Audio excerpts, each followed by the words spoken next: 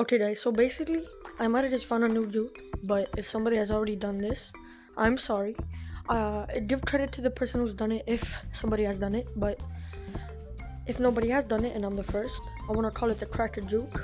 And basically, what it is, you go up from these platforms, wherever you want to come from, up there, up there.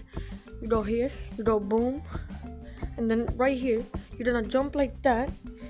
So basically, jump, catch your hand, and go under and push yourself up. This is what it'll look like when you do it fast.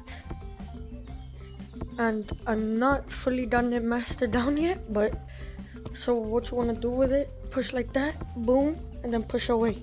You can keep doing whatever you want to do after that. Okay, I'm gonna try to do this in some uh, comp lobbies.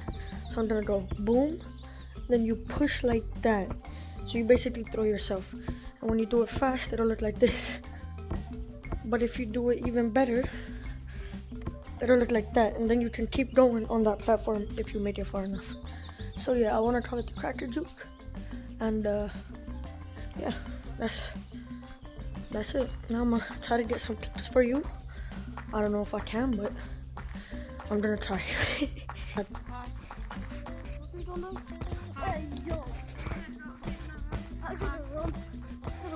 I'm gonna.